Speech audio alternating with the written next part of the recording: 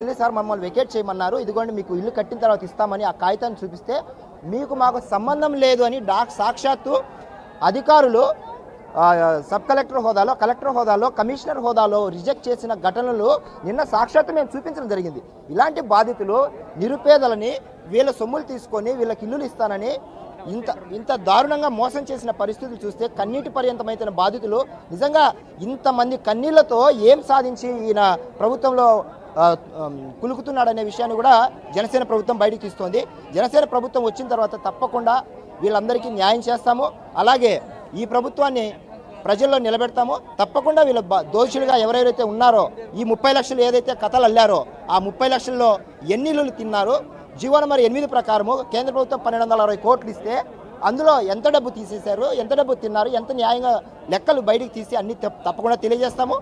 ముప్పై లక్షల ఇల్లుల కథ ఎంత పూర్తి చేశారు ఎంత అనేది రేపు ఆడిట్లో మేము తెలియజేస్తాం. రైట్ మొత్తానికి ఒకవైపు జనసేన అయితే లీగల్గా పోరాటం చేయడానికి కూడా సిద్ధమైంది. వాళ్ళైతే ఏదైతే ఈ సోషల్ మీడియాకి సంబంధించి వాళ్ళు పూర్తి స్థాయిలో కూడా వెలుగెత్తి చాటుతున్న పరిస్థితి. సార్ మీరు ప్రధానంగా చూస్తే ఇక్కడ వచ్చిన లబ్ధిదారులు ఎవరైతే ఉన్నారో వీళ్ళందరికీ కూడా పదమూడు వేల రూపాయలు డబ్బులు పడితే కేవలం అది ప్రభుత్వం లెక్కల ప్రకారం లక్షా తొంభై మూడు వేలు రెండు లక్షలు పడింది. మిగతా డబ్బులన్నీ కూడా ఎవరి అకౌంట్లోకి వెళ్ళినట్లు ఏంటి పరిస్థితి? సార్ ఇప్పుడు జగనన్న కాలనీలని పేరు పెట్టారే కానీ మొత్తం కూడా దోపిడీ జరుగుతూ ఉంది. ఈరోజు మీరు అన్నట్టు లక్ష ఇరవై వేలకి పదమూడు వేలు పద్నాలుగు వేలు చేతికొచ్చి మిగతాదికి మిగతాది రావట్లేదంటే కారణం ఏంటంటే వాళ్ళు దీన్ని అన్నీ కూడా కాంట్రాక్ట్ పద్ధతుల్లో చేసుకుంటున్నారు. పైన ట్యాంక్ ఒక రేటేజ్ తీసేసుకుంటున్నారు.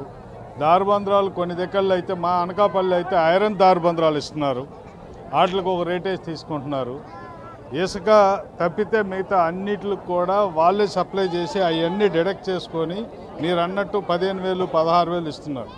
ఇదే కాకుండా సైట్ అలాట్మెంట్ చేస్తే ఎగ్జాంపుల్ చెప్తే మా అనకాపల్లిలో కోండ్రం పిఆర్టీ కాలనీ నుంచి కోండ్రం దాకా దాదాపు పన్నెండు వేల ఇల్లులు సైట్లు అలాట్ చేశారు. ప్రతి సైటుకు కూడా పదివేల రూపాయల కాడికి వసూలు చేశారు. అంటే దాదాపు నూట ఇరవై కోట్లు ఒక అనకాపల్లి మీదే ఈ జగనన్న కాలనీల దగ్గర వసూలు చేశారంటే మీరు అర్థం చేసుకోవచ్చు. వీళ్ళు దాదాపు ఇరవై ఎనిమిది లక్షల ఐదు వందల ఇల్లులు ఈ వచ్చే నెల ఎండు లోపల కట్టిస్తానని చెప్పి ఒక లక్ష ముప్పై రెండు వేల ఇల్లు మాత్రమే ఇప్పటికీ పూర్తి చేయగలిగారు. మిగతాయన్నీ ఈ లేఅవుట్లో కూడా చూస్తున్నారు కదా. స్టేజ్ వైజు డిఫరెంట్గా ఇంకా స్టార్ట్ చేయని కూడా చాలా ఉన్నాయి. ఈరోజు మా పార్టీ అధినేత పవన్ కళ్యాణ్ గారు ఈ గ్రామానికి వస్తున్నారని తెలిసినాక ఆయన వచ్చేదానికి రోడ్లు కూడా అవకాశం డైరెక్ట్గా వెహికల్ వచ్చేదానికి లేకుండా ఈ స్టేజ్ దగ్గరికి మూడు దిక్కుల్లో రాత్రి రాత్రి రోడ్లన్నీ తవ్వేసి ఇక్కడ ఏదో కల్వెట్ కట్టేట్టుగా బిల్డప్ ఇచ్చారు. ఏది ఏమైనా అవసరం అయితే మొన్న ఇప్పటం గ్రామంలో లాగా దిగి నడిచినా వస్తారే కానీ ప్రోగ్రాం మాత్రం ఆగే క్వశ్చనే లేదు. ఇలా ప్రతి దిక్కుల్లో కూడా ఇబ్బందులు పెడుతున్నారు.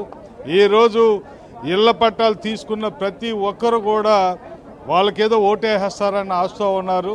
అందరూ కూడా ఎప్పుడు టైం వస్తే బటన్ నొక్కుదామా అని చెప్పి వెయిట్ చేస్తూ ఉన్నారు.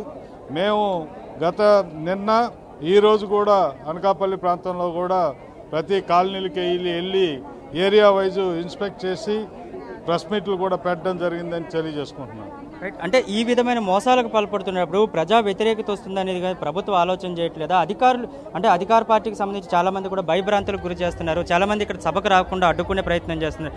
దీన్ని ఏ విధంగా చూస్తాం జనసేన పార్టీ? నేను ఇప్పుడు ఒక పది పదహైదు మందితో ఎంక్వైరీ చేశాను. లబ్ధిదారుల కోసం కుర్చీలు వేశారు. ఇంకా ఎవరు రాలేదంటే మీరు ఎవరు అక్కడ పోతే కెమెరాల్లో దొరికిన వాళ్ళందరికి కూడా ఇల్లులు పీక్కొని ఇంటికి పంపించే కార్యక్రమం చేస్తామని నిన్నంతా కూడా అనౌన్స్ అయిన కాడి నుంచి బాగా బెదిరించి భయపించారు. వీళ్ళందరూ కూడా ఈరోజు వచ్చున్నారంటే వీళ్ళకి అలాటైన ఇల్లు మళ్ళీ పేర్లు మార్చేశారు కాబట్టి ఇంకా రావు అన్న ధైర్యంతోనే ఈ పది మంది అయినా వచ్చి కూర్చోమన్నారంటే మొత్తం బెదిరింపు మీదే నడిపిస్తూ ఉన్నారు.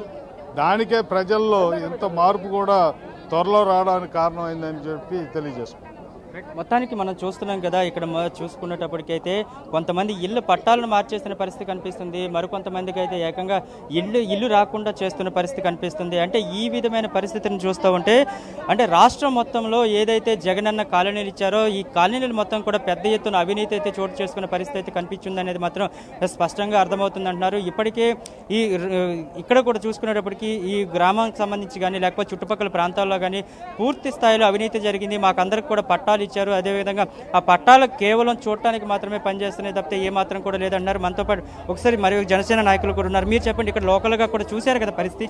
ఎలా ఉంది ఇక్కడ మేము ఇక్కడ మామూలుగా ఇంత స్థలం దగ్గర పన్నెండు వేల ఆరు వందల ముప్పై ఐదు మందికి ఇది చేశారు అలాట్ చేశారు.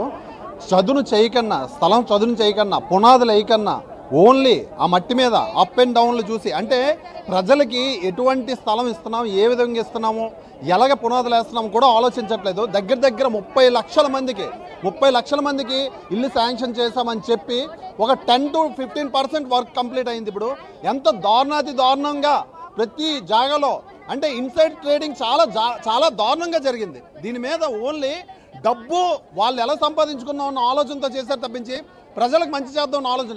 ఈరోజు కళ్యాణ్ గారు అయితే వస్తున్నారు దేని గురించి అంటే ఖచ్చితంగా ఆంధ్రాలో ప్రతి ఒక్కరికి టిట్కో ఇల్లులో ఎంత దారుణం జరిగిందో ప్రతి ఒక్కరికి తెలిసే విధంగా ఇప్పుడు ఉంటుంది.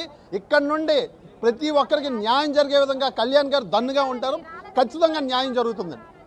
మొత్తానికి శివ చూసుకునేటప్పటికైతే ఇక్కడ ప్రతి ఒక్కరు కూడా అయితే ఒకవైపు లబ్ధిదారులు వస్తున్న పరిస్థితి కనిపిస్తుంది. మరోవైపు ఎత్తైతే ఇక్కడ అక్రమాలు జరిగే వాటన్నిటిని కూడా బయట పెడతామంటూ కూడా జనసేన ఆయా నాయకులు కానీ లేకపోతే వీర మహిళలు కానీ చెప్తున్న పరిస్థితి కనిపిస్తుంది. మొత్తానికైతే పవన్ కళ్యాణ్ మరి కొద్దిసేపట్లో ఈ సభా ప్రాంగణానికి అయితే చేరుకోబోతున్నారు. అయితే ఈ నేపథ్యంలోనే చాలా పెద్ద స్థాయిలో ఎక్కడైతే రాజపురోల్ జంక్షన్ ఉందో అక్కడ నుంచి ఈ లేఅవుట్ వరకు దాదాపుగా పదిహేను కిలోమీటర్ల మేర కూడా జనాలు అంతా కూడా పూర్తి స్థాయిలో పవన్ కళ్యాణ్ చూడడానికి అదేవిధంగా ఆయన ఓదార్పును కోరుకోవడానికి అయితే పెద్ద సంఖ్య సంఖ్యలో చేరుకుంటున్న పరిస్థితి కనిపిస్తుంది. జనసేన నాయకులు అదేవిధంగా అభిమానులు కూడా పెద్ద ఎత్తున వీళ్ళంతా కూడా గజమాలతోనే గజమాలలతోనే అదేవిధంగా ఆయన దారి పొడుగున కూడా స్వాగతం పలుకుతున్న పరిస్థితి అయితే కనిపిస్తుంది. మరికొద్ది సేపట్లో పవన్ కళ్యాణ్ ఇక్కడికైతే చేరుకోబోతున్నారు Shiva. Right right Raju thank